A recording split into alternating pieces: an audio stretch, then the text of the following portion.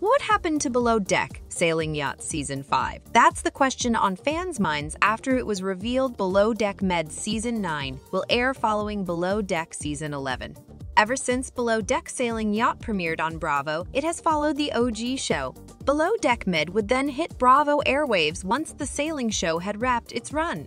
That's the way it's been for the past four years, except for last year when Below Deck Down under Season 2 aired, after Below Deck Sailing Yacht. So why, all of a sudden, is there a switch in the schedule, especially since Below Deck Med Season 8 just ended in January? Let's take a look at what we know. The reason for the change-up likely has to do with the sexual misconduct allegations that came out against Gary King after Season 5 of Below Deck Sailing Yacht was filmed. Leaked photos revealed that Daisy Kelliher and Gary were back for another stint aboard Parsifal 3 with Captain Glenn.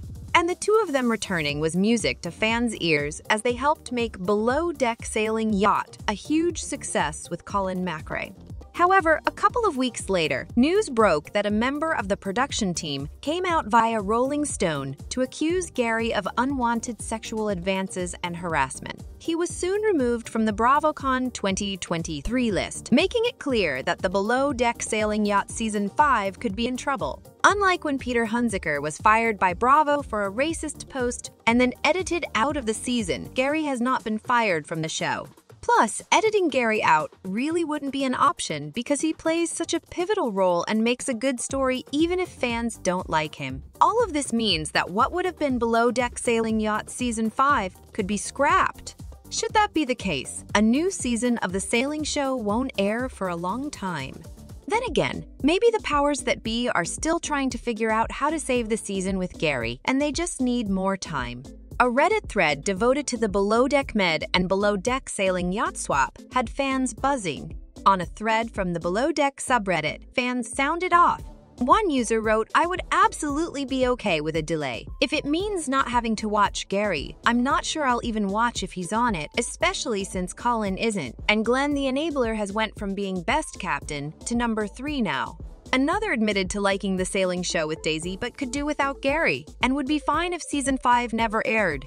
Another fan added, as it should be, Bravo needs to learn you hire racists, you hire sexual abusers, you're going to lose money. The end.